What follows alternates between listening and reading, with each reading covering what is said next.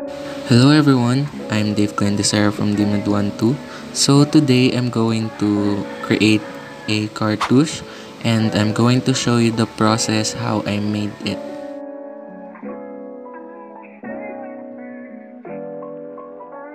Materials needed for making a cartouche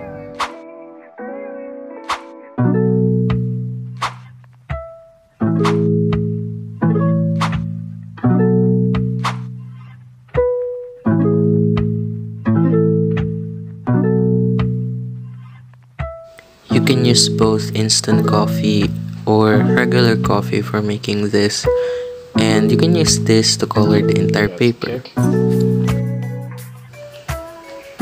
After mixing coffee, use paintbrush to spread the coffee. It will give rustic vibe to the cartouche that we are making.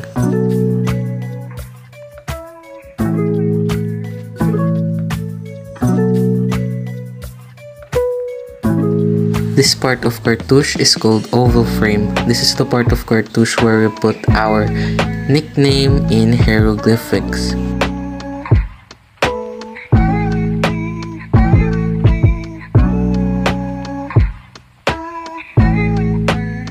This part of cartouche is called the stand and the rope.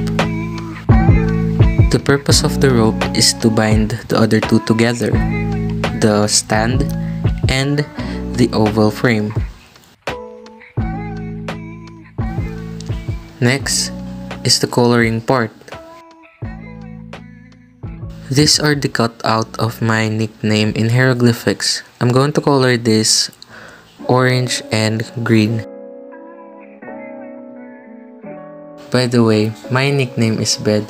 I know it sounds weird but that's how they call me here in our home. Next, I colored the outline part of oval frame. Next, I used glue to stick the cartouche in the base paper.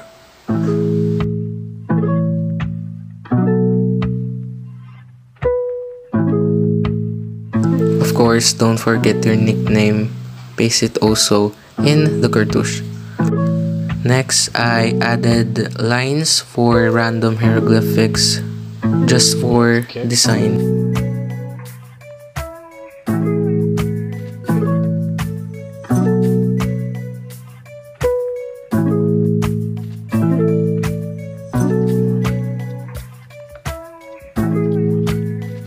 There you go, the final output of our cartouche.